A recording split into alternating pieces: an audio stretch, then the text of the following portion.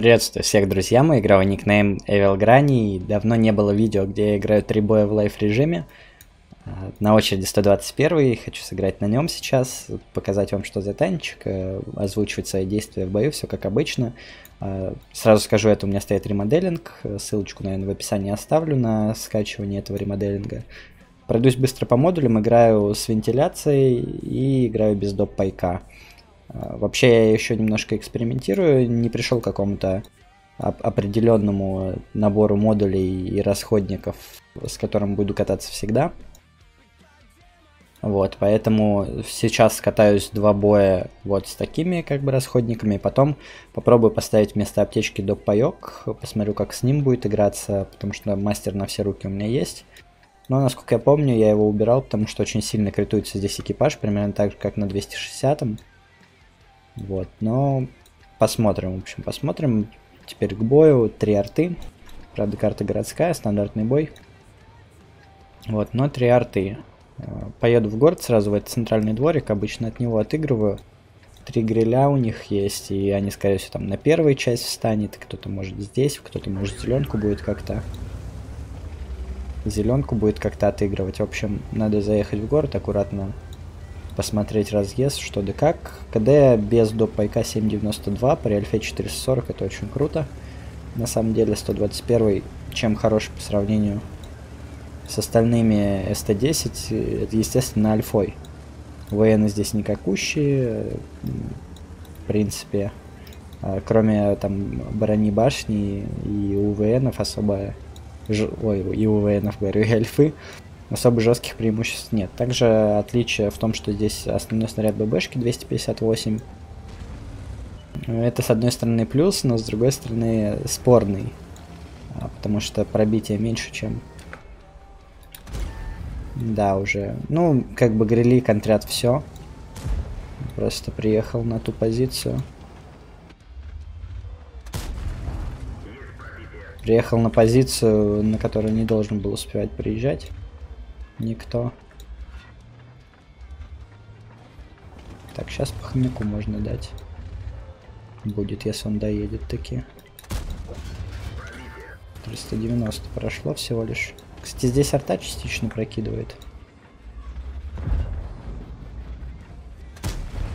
510, неплохо.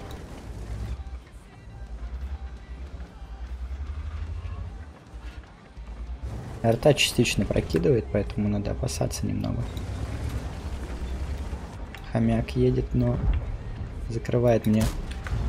Блин, он опустил орудие, но все равно как-то снаряд в него попал. Странно. В общем, сейчас гриль, по-моему, тоже в эту сторону проезжает. Поэтому, возможно, сейчас гриль будет как-то цель. 140 уже со спины заходит, но его там ВЗ отъехал контрить. Правда, там ЯКПЗ еще есть. Сложная ситуация, они как-то агрессируют. Блин, этот... Твой заснова немножко перекрывает.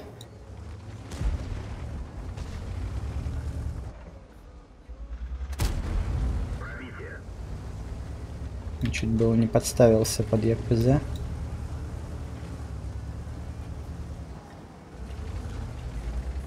Ну, печальная ситуация на самом деле у нас тут загоняют как могут.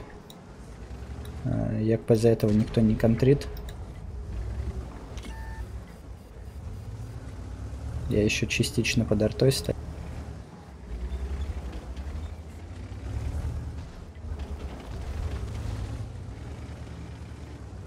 Езжать назад тоже не могу, сзади там С7 контрит.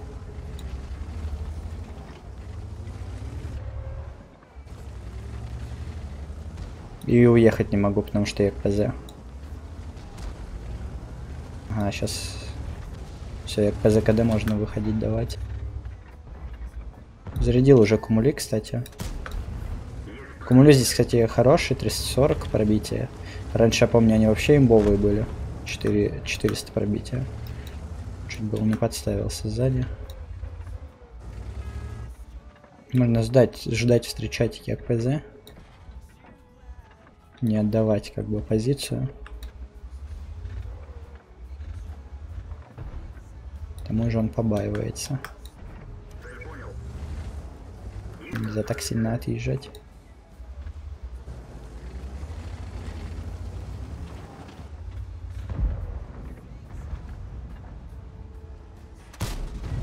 ВЛД, к сожалению, полетела.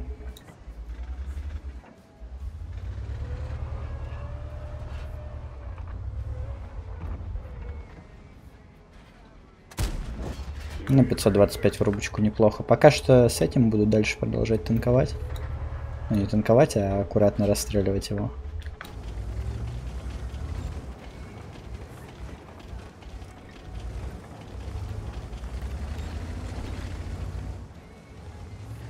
Я бы сейчас с удовольствием поджался. А, ну как же... Он мне уже который раз мешает. Этот ВЗ. Встает не там, где нужно. Точнее, там, где не нужно. А, возможно, сейчас хорошим вариантом было бы ворваться, но просто... Я не знаю, что это такое было, как э, гриль в нужный тайминг выехал, чтобы чекнуть сюда. Чекнуть именно меня. А я не, не помню, ломал ли я там что-то или нет. Но если да, то все понятно, в принципе. И 7, скорее всего, будет выходить, просто убивать меня. Что что, потому что может себе позволить. А, подставился под гриля. А, да, знал, что здесь можно, мог, может целить, но, к сожалению, подставился. А, ВЗ сквозь тай попытался меня прострелить. В общем, странный момент был с грилем, с, именно с выездом. Я долго стоял, чекал, никто не выезжал. И тут в один момент, ну, возможно, это просто совпадение. Конечно, может быть, не стоило так поджиматься, но поджим это вообще в целом хороший, потому что я мог спокойно вот этих убивать. И если бы ВЗ там меня сзади не напрягал, то все было бы хорошо, наверное. Во всяком случае, я ехал сюда, когда у меня было там 1000 плюс хп, и не рассчитывал, что гриль меня прострелит в проезде. Но получилось как получилось.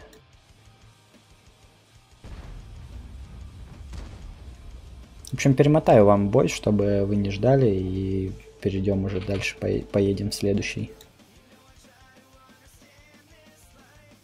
Так, бой закончился поражением, гриль почти затащил, но немножко не получилось. Итогово два гриля вражеские затащили, который один, который меня убивал, и один, который базу потом забрал. А, нанес я 4000 урона практически, 3900, ладно.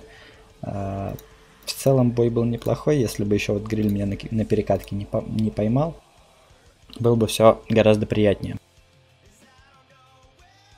Так, на этот раз э, открытая карта. То есть на городской карте 121 чувствует себя неплохо за счет альфы. Если там попадаешь на каком-нибудь 140, да, на городскую карту или на леопарде даже, у Леопарда и тоже более-менее альфа 390, да, но все равно как ты чувствуешь себя не очень комфортно. Когда попадаешь на 121 на городскую карту, дискомфорта не испытываешь вообще, как раз таки наоборот. А, тебе не нужны особо УВНы, ну, редко где на городской карте нужны хорошие углы наводки э, вертикальные. И, в принципе, это такое, такая городская СТ-шка, которая может быстро перемещаться по городу, с хорошей альфой, с хорошим ДПМом. И когда я попадаю на 121 на городскую карту, мне очень комфортно играть. А на открытой немножко по-другому, потому что все-таки точность не самая лучшая, не как у других СТ. Вот, но в целом я бы не сказал, что она какая-то там плохая. Вполне сносная и играть тоже можно. Вот, ну, собственно, сейчас посмотрим. Что по бою, две арты, штурм. В штурме в атаке всегда надо ехать налево сначала. А, мог постоять покемпить, но, во-первых, углы недостаточно хорошие, чтобы там комфортно стоять кемперить. Во-вторых, светить кому-то тоже надо, и лучше я сейчас на 121-м на более-менее тан танки с броней буду подсвеч, подсвечивать, нежели кемпить, к тому же побыстрее сближаться с противником тоже полезно на этом танке. За счет того, что есть ДПМ, за счет того, что не очень хорошая точность. Никого здесь не оказалось.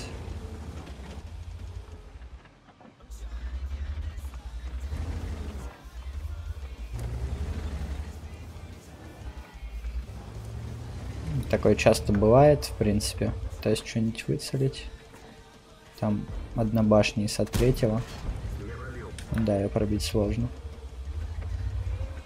Ружка как-то здесь непонятно действует.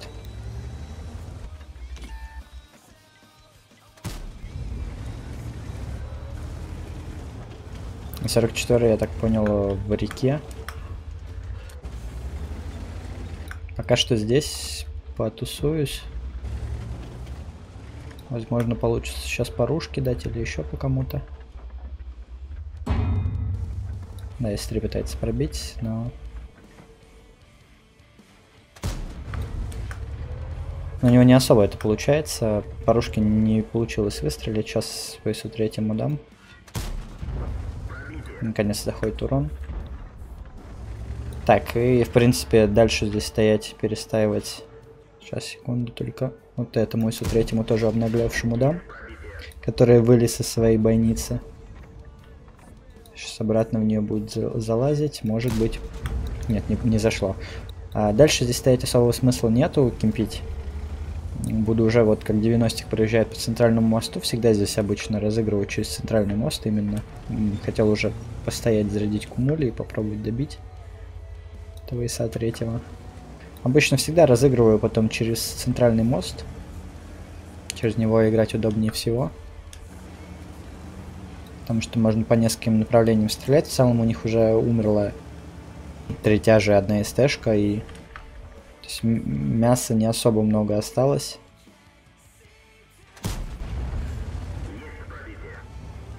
Хорошо, что он сразу не нырнул, э, из-за этого я смог ему дать урон. В принципе, сейчас 90 его, возможно, заберет, да.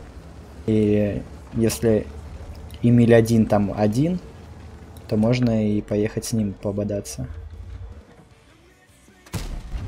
Хорошо. Ну, с, не, с неполной сводкой зашел урон. Это он меня засветил, наверное. Он продолжает сюда смотреть или... Или что, почему он до сих пор светится? Очень долго светился. Возможно, это его из 3 светил. Буду через домики как-то стараться поджиматься сейчас. Чтобы пострелять, во-первых, по спинам этим. Но мне не нравится единственное, что Хэвик, то, что не светился, я не знаю, где он сейчас находится. Даже приблизительно.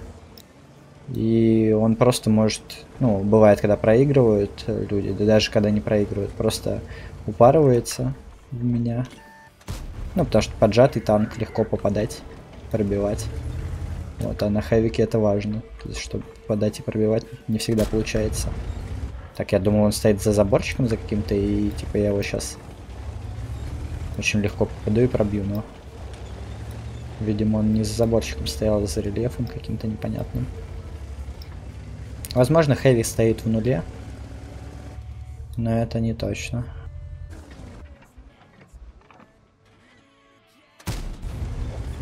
А сейчас полетела тоже низко, но добил. Непонятный, короче, рельеф там. Здесь можно попробовать по 62 что-то выдать.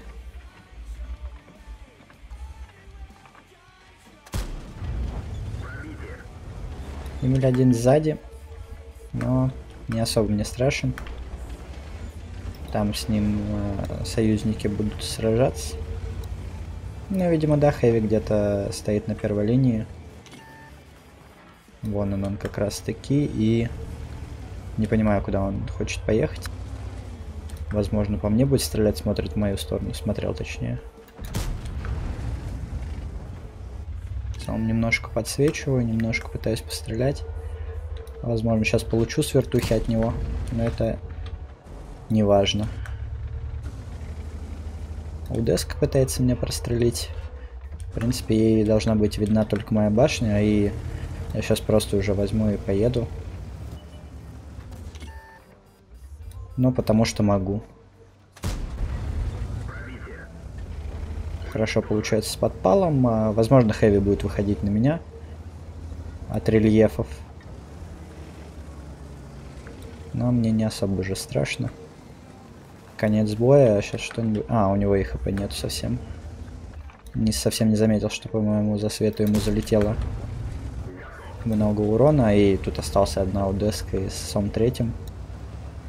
Из три, видимо, здесь. Или нет? Нет, уехал тоже туда. Пускай стреляет, в принципе, мне не жалко. Тут уже надо наносить урон.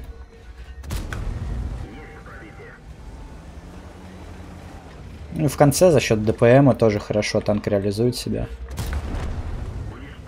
То есть вот в конце налегке полторы тысячи еще дополнительных дал. В целом неплохой бой получился. Достаточно интересный. Разбир... Разбирали такой девчик небольшой, который они нам устроили. 3700 на света. Хоть я играю без оптики, у меня обзор 428 всего.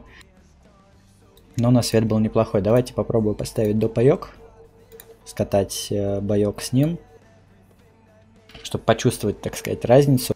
В целом должны улучшиться все ТТХ. Главное, что главное, что улучшится, это обзор.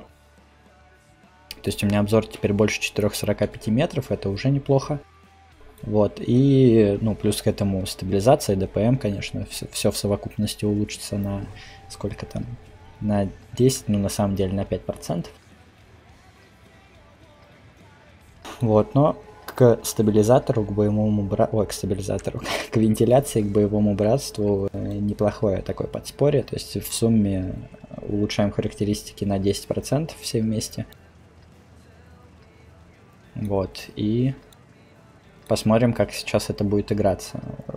Будет, скорее всего, арта будет кидать скрытами членов экипажа, Такое бывает, особенно часто здесь, если пробивают башню, критуется наводчик. Башню пробивают тоже довольно-таки часто, если заряжают кумулятор. КД изменилось уже 7.59, стало уже еще приятнее, да, с альфой 400, о, да, с альфой 440 иметь э, перезарядку 7,5 секунд очень хорошо. ДПМчик тут э, в районе советских СТшек.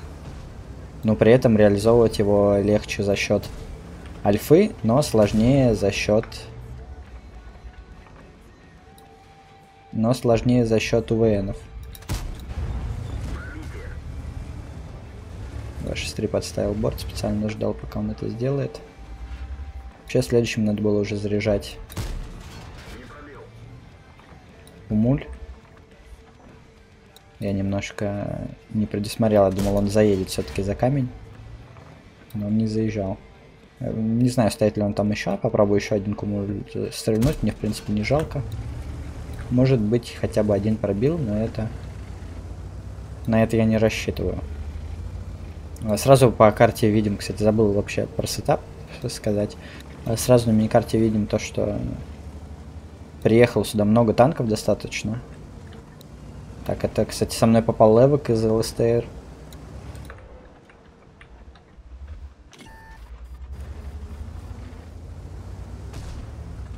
Тоже хороший очень игрок. В Seven Place, помню, играл.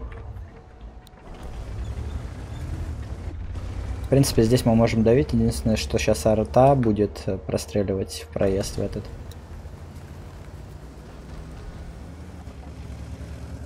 Но Хорошо, что она по мне не стала стрелять. Уже заряжаю обратно ББшки. Потому что здесь э, некого особо кумулятивами стрелять. Заряжал под 263.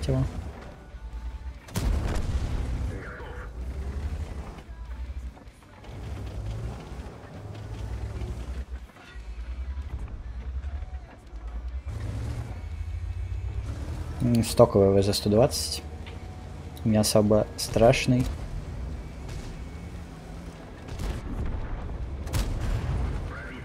Под пальчиком в левую часть корпуса выстрелил.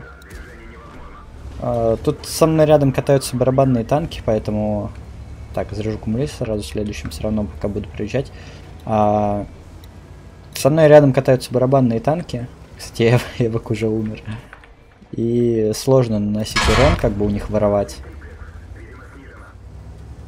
Вот. Поэтому еду, тороплюсь. Пускай я даже буду принимать какой-то лишний урон, но может быть чуть побольше смогу нанести. Аккумуля 340 э, позволяют семерку легко пробивать вообще. В щеки даже не под самыми выгодными углами. Так, и тут, в принципе, еще достаточно урона можно настрелять. А, полетело так хорошо вроде бы, да? Но не зашло. Еще много можно урона настрелять, еще если первый фуловый. Здесь, в принципе, тоже эти танчики фуловые. Обратно сейчас на ББшке перезаряжусь.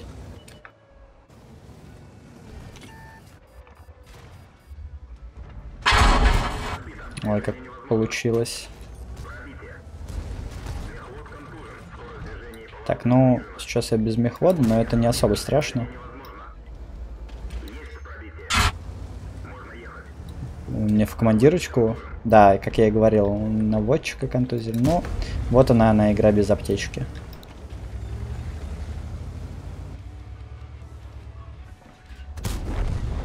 Вот она игра без аптечки, собственно.